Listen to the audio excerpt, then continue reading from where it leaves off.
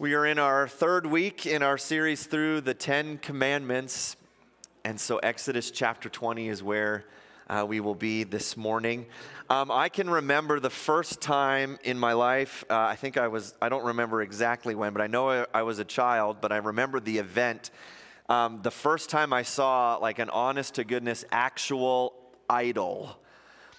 Uh, uh like a, a carved image. Um, we lived in Ottawa, and, and I went with my dad to pick up some food that we had ordered, and we went into an Indian restaurant. I remember going in, and on a table, just kind of off to the side, there was this golden statue. I don't remember what it looked like, but it was this golden statue, and all these, all these trinkets around it, and plants and things. And then in front of this golden statue was a plate of food that was just sitting there.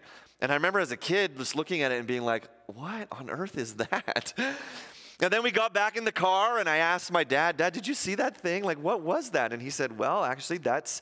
Uh, that's their God. That's who they think their God is. And then he said, Did you see the plate of food in front of it? Interesting. That was like a sacrifice to their, their God that they worshiped. And I, I remember just being fascinated by that, being like, Really? Wow. So interesting. Um, Fast forward a little bit, but still, you know, probably almost 15 years ago, my two sisters and uh, my brother in law went on this kind of month long trip to Thailand and Vietnam, and they would send lots of pictures. And uh, one of the, the things that they did a lot of is that they would go and visit these different temple ruins, which were just really fascinating and beautiful. And, and then their, their tour guides would say, okay, and here is a statue of such and such a deity. This is who they used to worship. And then they would go to the next. So I saw all these pictures sent to me of different, you know, stone carvings of different looking kind of idols and images like that. And it was just fascinating, again, being like, huh, wow, interesting. Um, a few years ago, I had a friend that went uh, to Mexico and decided to visit a Catholic church in Mexico because it was one of those just like really beautiful, ornate buildings that just is just gorgeous. But he just kind of went as a visitor to see, okay, what, what goes on down here. And he noticed that as he went into this Catholic church, everyone who came in went up to the front and bowed down to a statue of Jesus and kissed Jesus' feet and then went and sat down in the, the pews. Um, all three of those examples are examples of idol worship. Um, it's interesting, even in the Bible in Acts chapter 17, you might know the story, but Paul is walking around in Athens and he says that, uh, or rather, Luke tells us that Paul noticed that the city was full of idols. Because really, I, I don't think that's an exaggeration, because in the ancient world, there was just idols everywhere. And so you would have an idol for this God and an idol for this God, a statue for this God, a temple for this God. And we're told that Paul walked around in Athens and he just noticed that this city is just crammed full of all of these images and idols. And we're told that his spirit was provoked when he saw all of these different idols. Now, you may have guessed what we're talking about this morning. Uh, we're, we're going to be uh, unpacking the second commandment, which tells us that we are not to make carved images or likenesses. Or, um, if you read it in the King James, thou shalt not make any graven images, right? Which just sounds way cooler. Um, I read that to my wife and kids, and they were like, whoa, man, what does that even mean? But the idea of no idols, no images, no likenesses and on surface level, when we read the second commandment, I think sometimes we read it and go, isn't that the exact same as last week? Last week's commandment, God says, You shall have no other gods before me. And this week he says, Well, don't make any idols or images uh, and, and worship them. And on surface level, we go, That sounds like the same thing. But I think there's actually a, a, a deeper level in the second commandment that sometimes we miss. And so, what we want to do is approach this second commandment this morning by asking a lot of questions. This might feel kind of like a Bible study as we just ask questions about what this command is and how do we obey and things like that. And so we want to actually kind of break it into four sections. We want to know, well, what, what this command isn't. That's important. What, what, what is this command not? Uh, and then, what is God prohibiting in this command, and why is He prohibiting it? What does this reveal about God? And then, how do you and I obey this commandment? So, just asking some questions and trying to understand. So, Exodus 20, let's read verses 4 to 6. It says this You shall not make for yourself a carved image or any likeness of anything that is in heaven above, or that is in the earth beneath, or that is in the water under the earth. You shall not bow down to them or serve them, for I, the Lord your God, am a jealous God visiting the iniquity of the fathers on the children to the third and fourth generation of those who hate me, but showing steadfast love to thousands of those who love me and keep my commandments. So, right out of the gate, we, we want to ask well, what, what is God not saying here? What this command isn't. Okay, that's really important because I think a lot of times we're just like, uh, okay, well, we're not allowed to make anything about anything related to God. And so, what this command isn't is God is not prohibiting art or beauty or creativity. God is not against those things. The second commandment is not saying you must not do any artistic things. And here's why if you read in the Old Testament, uh, the, the, the commandments that God gave concerning the tabernacle and the temple, there are ornate decorations and carvings and symbols all instructions given by God. I want you to do this. I want it to look like this. I want you to sew tapestries that look like this, and all given by God. Even the Ark of the Covenant that held the Ten Commandments and other artifacts, we're told that there were two gold cherubim angelic beings on top of the ark of the, of the covenant, covered in gold. So it's not as if God is saying, you know, all your churches are just gray walls with no decorations. That's not what he's saying. Um, even in Exodus 31, verses 2 to 5, you'll read this. God says, See, I have called by name Bezalel, the son of Uri, son of Hur of the tribe of Judah, and I have filled him with the Spirit of God, with ability and intelligence, with knowledge and all craftsmanship, to devise artistic designs, to work in gold, silver, and bronze, in cutting stones for settings, and in carving wood, to work in every craft. So notice, God says, I have put my spirit in this man named Bezalel for the specific purposes that he would create carvings and stone and silver and bronze and artistic designs. So we just got to be clear that God is not prohibiting. You must never create anything that is artistic or beautiful or creative. Now, I, the reason I say that is that I think there's some Christians that actually believe that we cannot have paintings or pictures or anything. Um, as a pastor, you get to meet lots of interesting people. Don knows this, but sometimes people will just come into the church and be like, I have a complaint to make. And I'm like, great, I don't even know who you are. But uh, I re- not recently, a few years ago, I had a guy come in and he's, he, uh, he didn't attend here, but he came in and said, You have a cross outside on the front of your building. That is the worship of a graven image. You have a cross on your stage. That is not allowed. No depictions of anything. That's not what this command is saying.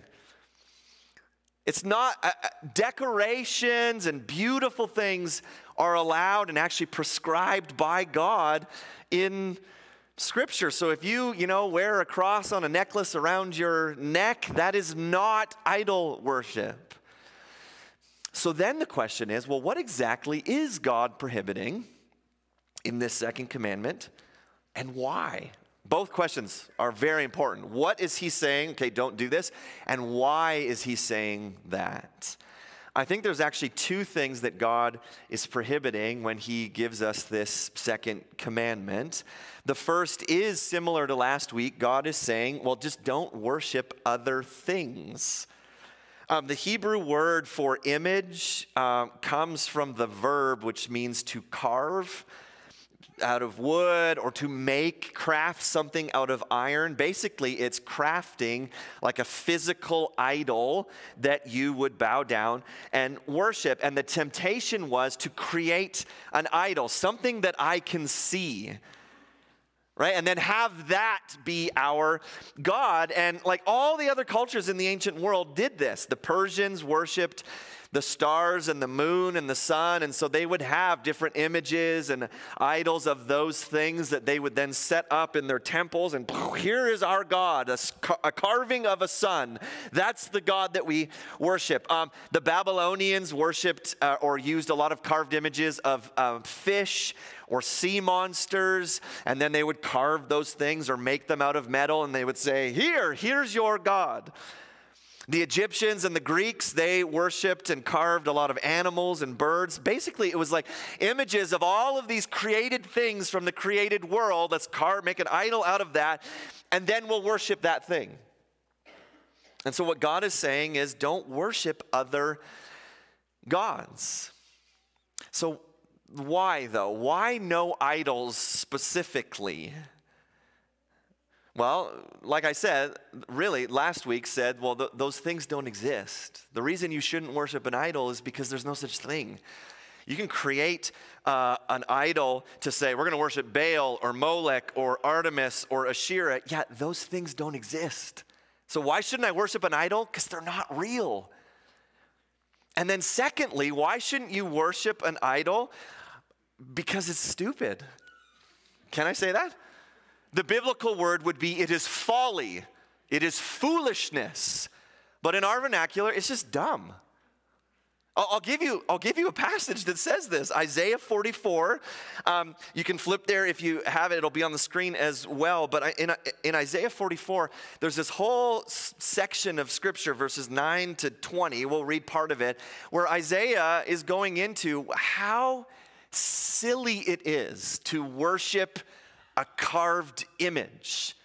Um, he says this in verse 14, speaking of a man who would kind of create these images. He cuts down cedars, or he chooses a cypress tree or an oak and lets it grow strong among the trees of the forest.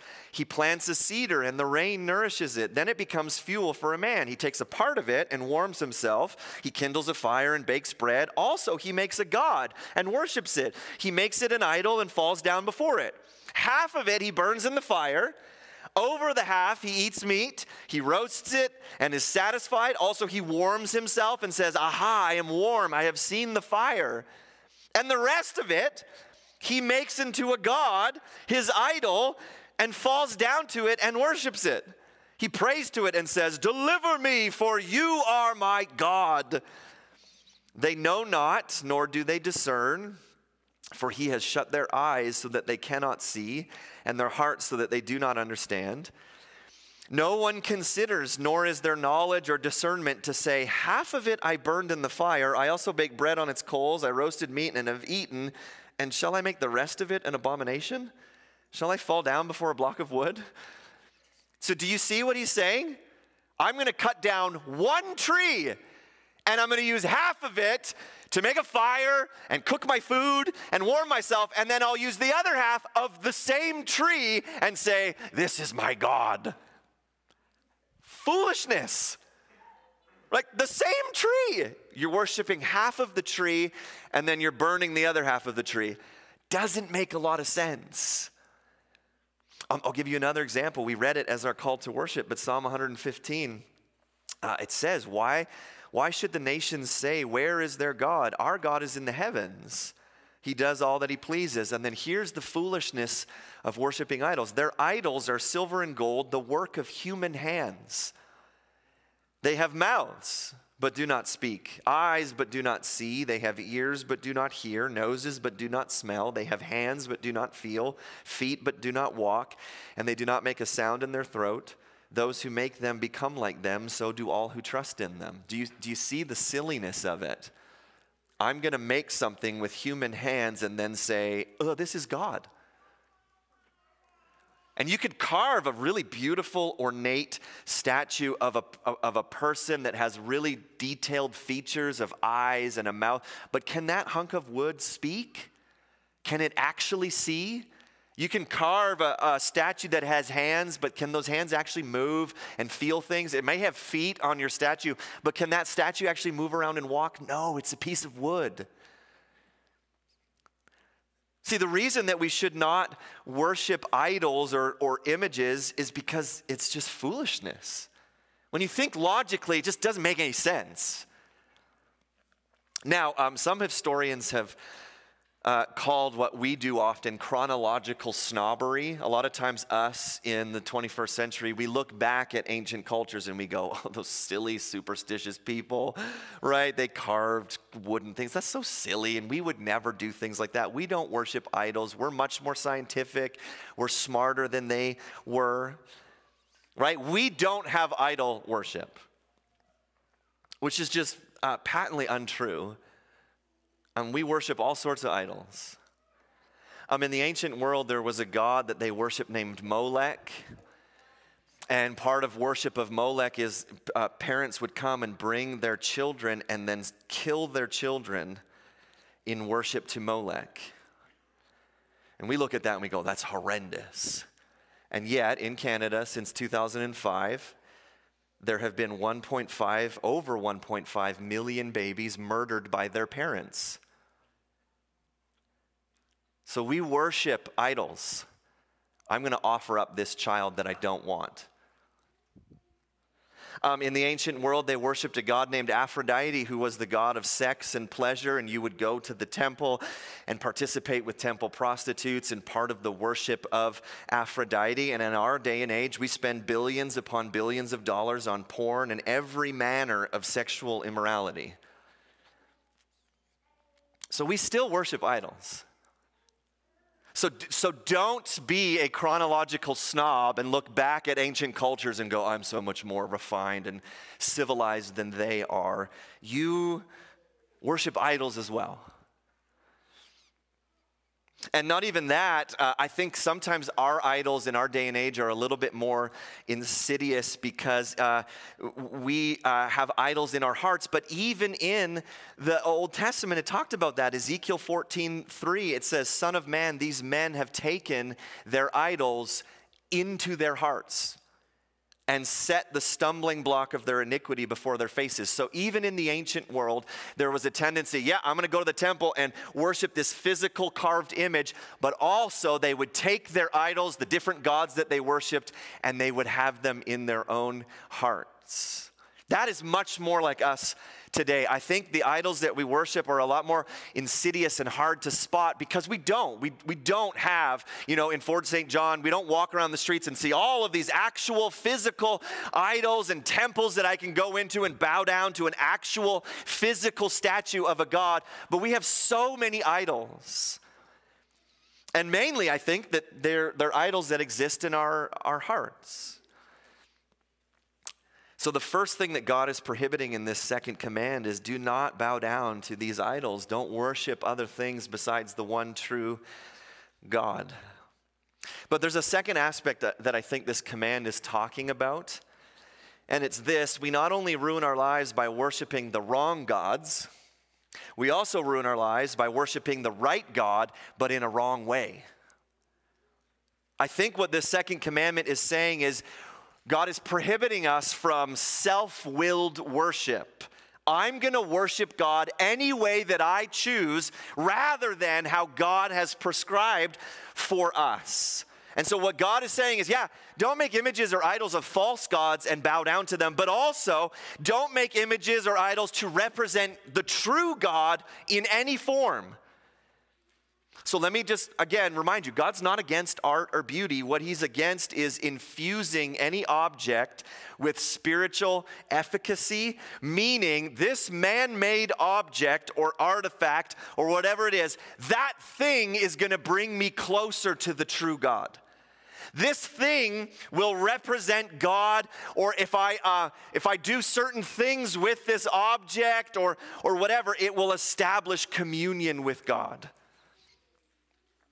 Let me give you a few examples of how the Israelites did that. Not just idol worship of Baal or Molech or Asherah, but actually saying we're going to create images and idols to help our worship of Yahweh. So, Exodus 32, if you want to flip over a few places, um, the story of the golden calf, I think lots of us read this story and go, oh, they created a golden calf to represent a false god that they worship. That's not actually 100% accurate. They created a golden calf to say, we're going to help worship Yahweh through the golden calf. So, look, this is what it says. When the people saw that Moses delayed to come down from the mountain, the people gathered themselves together to Aaron and said to him, Up, Make us gods who shall go before us. As for this Moses, the man who brought us up out of the land of Egypt, we do not know what's become of him. Oh man, poor Moses, right? A, who's this Moses guy? We don't know what happened to him. So Aaron said to them, Take off the rings of gold that are in the ears of your wives, your sons, and your daughters, and bring them to me. So all the people took off the rings of gold that were in their ears and brought them to Aaron. And he received the gold from their hand and fashioned it with a graving tool and made a golden calf. And they said, These are your gods, O Israel, who brought you up out of the land of Egypt. When Aaron saw this, he built an altar before it. And, he, and Aaron made a proclamation and said, Tomorrow shall be a feast to the Lord. To who? To Yahweh and they rose up early the next day and they offered burnt offerings and brought peace offerings, and the people sat down to eat and drink and rose up to play. Notice what they didn't do. We created a golden calf. This is Kaphi, our new God. They said, Hey, here's the God that brought us from Egypt. We've made an image of him. And Aaron said, Tomorrow we're going to have a huge feast for who? For Yahweh. So notice what they're doing. Give us something to look at so that we can worship. Um, th- this continues um, even many, many, many years later. King Jeroboam in the north kingdom, once Israel had split into two kingdoms in 1 Kings 12, he said, You know what? We don't need to go to Jerusalem to worship God. I'm going to create two golden calves and we can just worship Yahweh up here. So notice, they're not necessarily worshiping a different God. They're saying, let's help our worship of the true God by making an image, an idol, something. Let me give you another example. In 1 Samuel chapter 4, um, Israel does a similar thing. It says this in verse 1 Now Israel went out to battle against the Philistines. They encamped at Ebenezer, and the Philistines encamped at Aphek.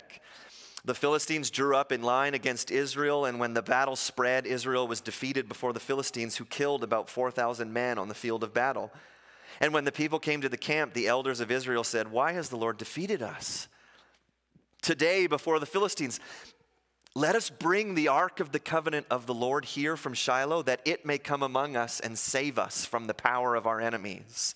So the people sent to Shiloh, and brought from there the ark of the covenant of the Lord of hosts, who was enthroned on the cherubim, and the two sons of Eli, Hophni and Phinehas, were there um, with the ark of the covenant of God. Okay, so you, do you get the plan? Man, we're being destroyed. We need something. Ah, go get the ark.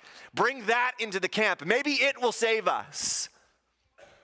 So here's what happens, verse 5. As soon as the ark of the covenant of the Lord came into the camp, all Israel gave a mighty shout so that the earth resounded. And when the Philistines heard the noise of the shouting, they said, What does this great shouting in the camp of the Hebrews mean? And when they learned that the ark of the Lord had come to the camp, the Philistines were afraid. And they said, A God has come into the camp. And they said, Woe to us, for nothing like this has has happened before. Woe to us! Who can deliver us from the power of these mighty gods? These are the gods who struck the Egyptians with every sort of plague in the wilderness. Take courage and be men, O Philistines, lest you become slaves to the Hebrews as they have been to you. Be men and fight. So, like, so far, it sounds good. Right? The Philistines are scared. Maybe this will work. So the Philistines fought, and Israel was defeated. Wait a second and they fled, every man to his home. And there was a very great slaughter, for 30,000 foot, foot soldiers of Israel fell. And the ark of God was captured, and the two sons of Eli, Hophni, and Phinehas died. And you go, What happened? Didn't this sound like a good idea? Do you know what happened? The Israelites were treating the ark as a good luck charm hey, if we just bring that image, that thing that we have, bring it into the camp, and then God has to do what we want. So, what God is prohibiting in this second commandment, besides don't just worship other gods, He's saying don't try and make images or idols that will try, that you're trying to help your worship of Yahweh.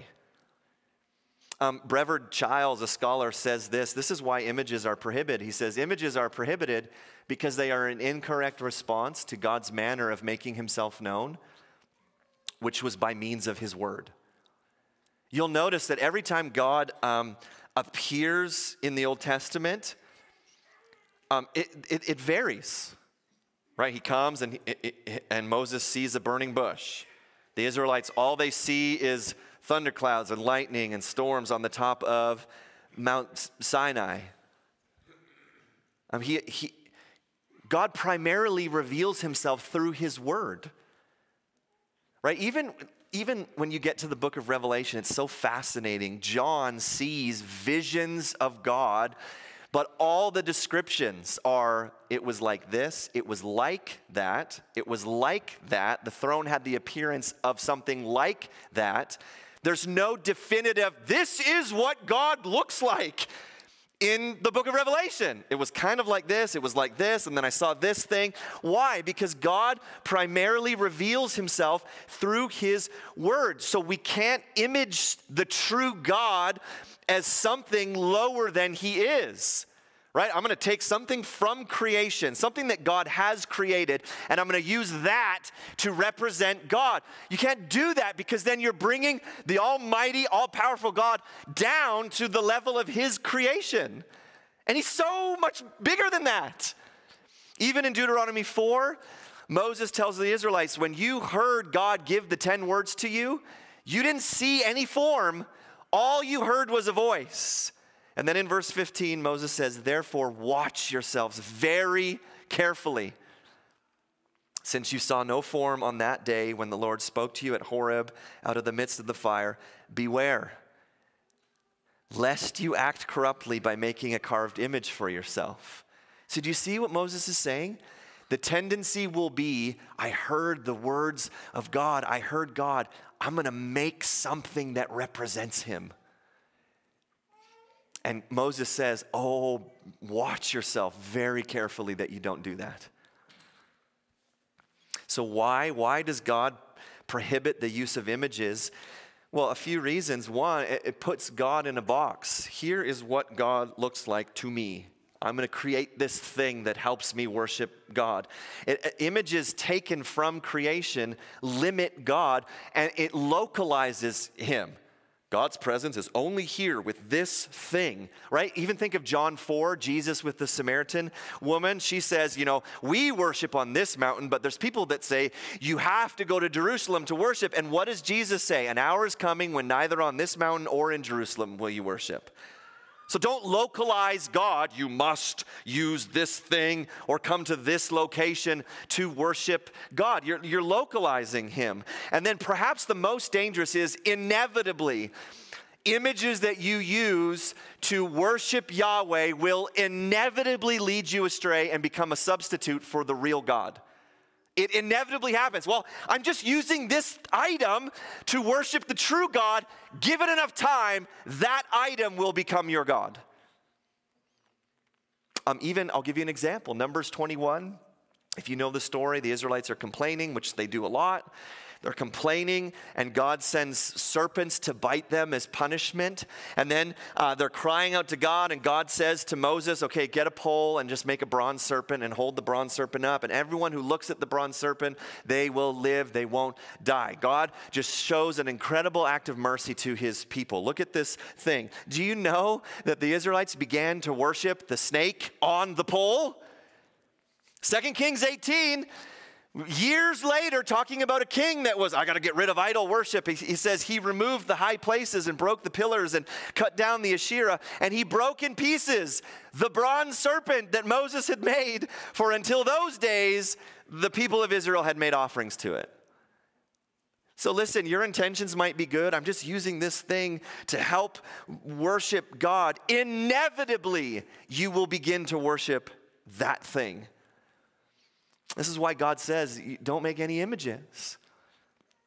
Because no, no image will ever capture the fullness of our transcendent, all powerful God. Now, what does this command reveal about God then?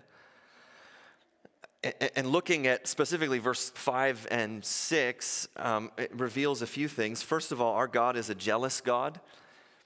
The second half of verse 5 says, For I am the Lord your I, the Lord your God, am a jealous God. So the God that we serve is a jealous God, but when I use that word jealous, it doesn't mean suspicious or distrustful or wrongly envious. It's not the same as like, okay, my neighbor got a new vehicle and I look out my window and go, oh, I'm so jealous that he got that and I didn't. That's not the jealousy that God's talking about. Um, it would be more so the example of a husband who is jealous for his wife, which we would go, he should be.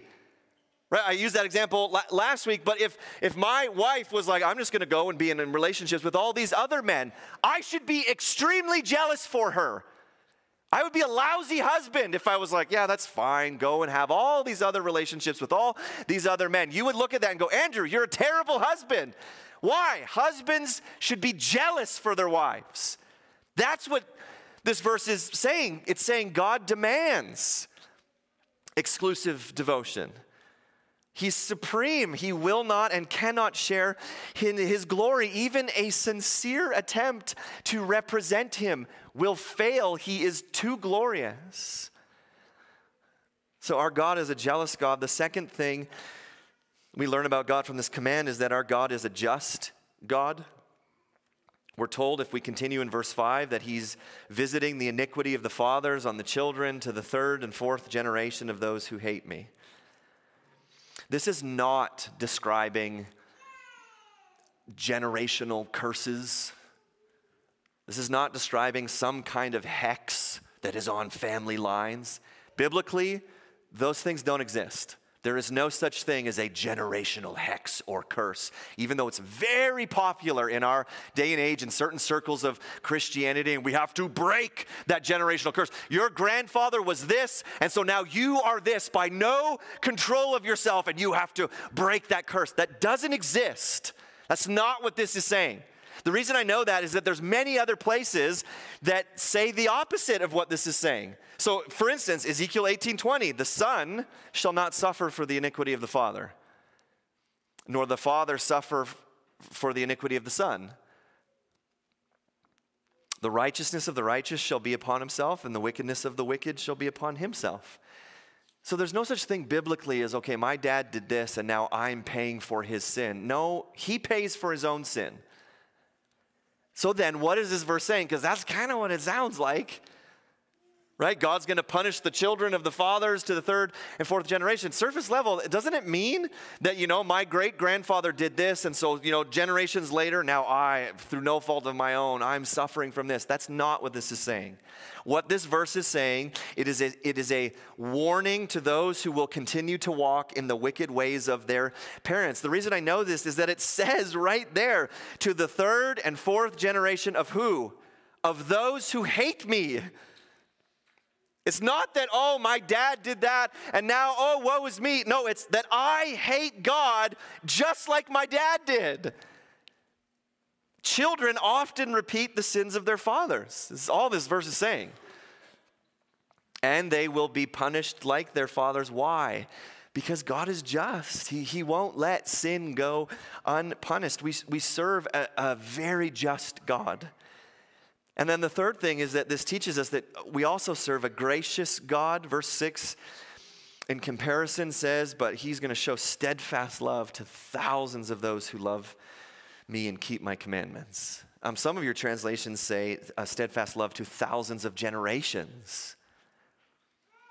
Like, what a gracious God we serve that he's going to show steadfast love for those who love him. So then the last question, just very practically, okay, well, how do you and I obey? Right? 2024, Fort St. John, how do we obey a commandment like this? And like I said, I don't, I don't think if I went to your houses and spied on you that you have some kind of carved image on your kitchen counter that you bow down and worship. I would highly doubt that.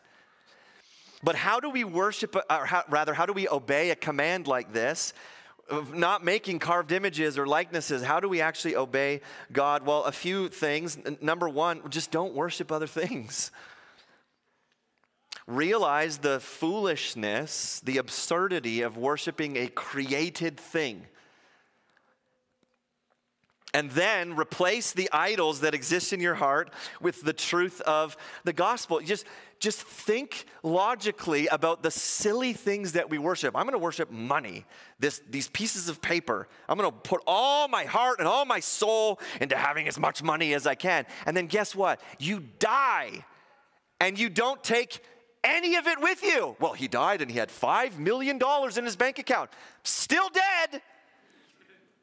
Right? But we, I'm going to spend my whole life chasing after money, money, money, money. Do you realize how foolish that is? I mean, we could just go on and on. We talked about worshiping beauty or sex or power. It's just silliness to say, I'm going to put all my heart in worshiping these things that will just fade. But it's not enough to just um, pull up the idols in our hearts because they inevitably grow back. Um, Jonathan Edwards talked about the expulsive power of a greater affection. So when you pull up the idol of money in your heart, you must plant the truth of the gospel there so that it doesn't grow back. So you pull out this need, I must have money, and you pull it out, and then you read scripture where it says, Hey, you are infinitely rich in Jesus. So plant that there. I have everything I need. I am spiritually rich because Jesus became poor. I don't need money. Right? So pull the idol out and then plant the truth of the gospel. So, how do we obey? Just don't worship other things. Secondly, how do we obey this? You must be on guard against using images of God, both external and imaginative. You must, you must guard against, I'm going to use these icons or images or things to help focus my worship of Jesus. I gave the example last night. I think the rosary that Catholics use to pray is one of these graven images. If I just hold these beads and if I pray them in a certain way, then my prayers are more effective. That's exactly what the second commandment is saying. Don't worship God through these things. I, I think a phrase that none of us should ever say is, well, to me, God is like this. Because it doesn't matter to you who is God revealed in His Word. So be very careful where you go, well, I just feel like to me, God is kind of like this. Uh, you, you could be very dangerously close to breaking the second commandment where you're creating an image of Him that's actually not true. So, for example, imagine, uh, imagine if someone came to me and said, Okay, Andrew, I want to write a biography about you. This is never going to happen, by the way, but imagine. And they said, But in my biography, I'm going to write that you're an Olympic athlete, that you were an introvert, that you don't really like engaging with other people, and that you had a bunch of fish and birds as pets. And I would go, Well, I'm, thank you. I'm, I'm honored that you want to write a biography about me, but that's, that's not, none of those things are true. And the person could say, Yeah, but you know what? In my biography, that's how I desire to see you. Right? But we do the same thing with God. I just feel like God is like this. I just feel like he's this when it could be actually the opposite of what he said in his word. What, what are we doing in that moment? We're creating images of God that we're worshiping. I'll, give you a few examples. Years ago, in a very popular church in the United States, they had some kind of conference thing, and there was a clip that went kind of viral. And there was a, a woman on stage t- talking uh, about the Holy Spirit, and she said something along the lines of, For me, I picture the Holy Spirit like the genie from Aladdin and he's just really fun and he's funny and he's my friend. And I watched that and laughed at it because, one, it's just ridiculous. But two, what's happening in this moment? I'm creating an image of God that helps me in my worship of Him. You're breaking the second commandment. There was another clip that I watched, and it was a pastor, and he was talking about, you know, one time we were worshiping. I can't remember if he said he just imagined this or he claimed that he had a vision, but you know, Jesus came to him and hugged him, and Jesus said, I'm sorry for all the times that I've hurt you. And you go, That's, that doesn't sound like the Jesus that has been revealed to us. I, I think he's worshiping a, an image of God that's not true. So I say all that to, we have to be really on guard Right? It's easy for us to go, okay, well, we're not going to make a golden calf and say, this is Yahweh that we're worshiping. Of course not. But we do this all the time where we invent in our brains images of God, or we, uh, right? I, I, I remember being here once and a worship night, and a lady came up and she bowed down to the cross and kissed the cross. Don't. That's idol worship. Yes, have a cross, great. Reminds us of the death of Jesus, but we don't bow down and worship it. I had another time when uh, I had my Bible and I was in an event and I was going to speak at an event, and I just kind of put my Bible on the ground until it was ready, and a guy came over and he said, Whoa, whoa, whoa, whoa, whoa, what are you doing? You can't put your Bible on the ground. I'm like, You know, we don't worship this, right? Maybe this has become like a graven image t- for you. I'll give you an example that some of you are not going to like, okay?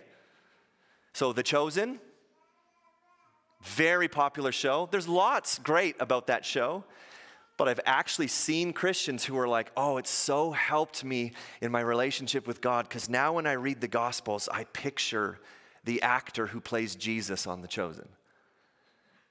Eesh. I think this is why God says, oh, watch yourselves very carefully. That we would not take images and say, This is helping me in my worship. No, we worship the invisible God who says, Don't make images of me. And then lastly, okay, how do we relate to the invisible God then? Because if you're like me, it'd be like, man, oh man, an image would be so helpful. Well, guess what? He's given us one. Colossians 1:15 says, "He is the image of the invisible God." The firstborn of all creation. Who's it speaking of? Jesus. Right? You're going to notice that all of these commandments find their fulfillment in Christ. In Exodus 20, God says, "Don't make for yourselves any images." Why? Because one's coming Jesus is the image of the invisible God. Hebrews 1 3, he is the radiance of the glory of God and the exact imprint of his nature. 2 Corinthians 4 6, for God who said, Let light shine out of darkness, has shone in our hearts to give the light of the glory. Or, or the light of the knowledge of the glory of God in the face of Jesus Christ. How do we know about the light of the knowledge of the glory of God? Look to the image of Jesus. Jesus is the one image who does not limit God's glory. Jesus is the one image of God that won't lead you astray. He's the one image where you do meet God, and He's the one image who really and truly is God. So we don't need images. You and I, we look to the Word and we read about who this Jesus is, and He is the image, the exact image of God. And so we worship Him and we look to Him. So, my prayer for all of us is that um, as we follow Jesus, we wouldn't have our hearts be pulled and tugged to other things, that we wouldn't worship other idols, that we would realize just the foolishness of idol worship, that we would uproot them, that we would plant the gospel. My prayer is that you and I would be very careful, that we would guard against using images of God, that we go, no, I don't need to have those things that quote unquote help my worship of Him. And that thirdly, you and I would constantly look to Jesus. He is the image of our invisible God. And that we would worship and follow Him. So, Father, I just thank you for your word.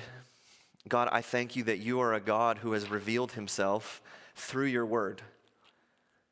Um, all throughout Scripture, it talks about you come and you reveal who you are primarily through the words that you speak. Um, even these Ten Commandments, when you spoke them to the Israelites, they saw no image, no form. All they, they heard was these, these words from your mouth, the voice of God. God, I pray that you would just forgive us when we are tempted to worship other idols, when our hearts get, get drawn and pulled away into the worship of money or beauty or power or success or whatever it is, God. I, I pray that we would be vigilant in uprooting these idols in our hearts and planting the gospel deep instead. God, forgive us when we think that we can use images or things in our worship of you.